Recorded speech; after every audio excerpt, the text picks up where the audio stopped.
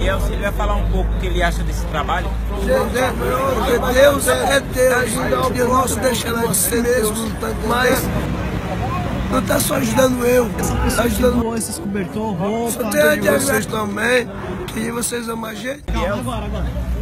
Boa noite, pessoal. Estou aqui com o Elielson. Ele vai falar um pouco o que ele acha desse trabalho.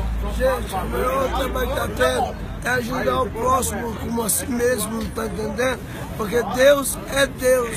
Deus nunca deixará de ser Deus.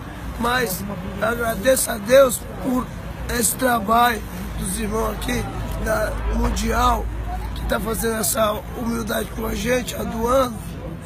Só peço a Deus perdão pelos meus erros, pelos meus pecados.